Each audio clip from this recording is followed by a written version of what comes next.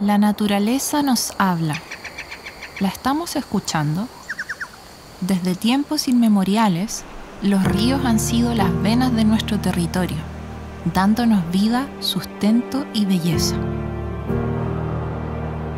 En Chile, el Biobío es el segundo río más largo del país y uno de los más importantes, tanto por su biodiversidad como por el profundo arraigo cultural que representa actúa como un importante corredor biológico, conectando la cordillera con el mar, facilitando la movilidad de fauna y la preservación de especies endémicas.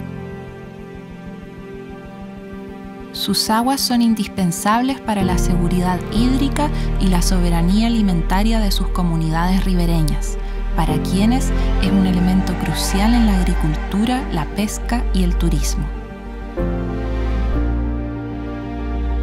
El río Biobío es parte de nuestra historia. Es una entidad viviente, parte integral de la comunidad y de quienes somos.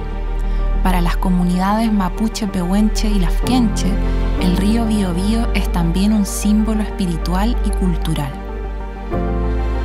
Sin embargo, a pesar de toda su riqueza, el río Biobío ha sido tristemente silenciado. Cuando le negamos su derecho a fluir, lo estamos silenciando. Cuando lo contaminamos, explotamos, degradamos y urbanizamos, lo estamos silenciando. Cuando bloqueamos su acceso y conexión con las comunidades, lo estamos silenciando. Los avances en la legislación ambiental han sido insuficientes.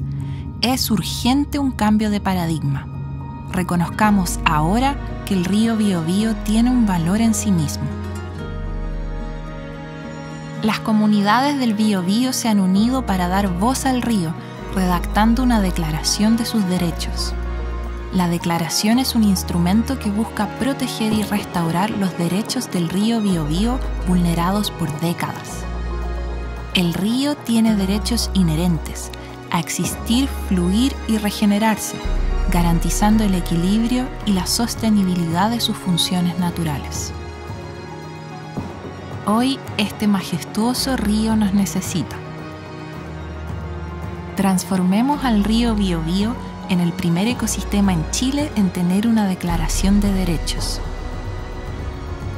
Declaración de los Derechos del Río Biobío. Léela, fírmala, compártela.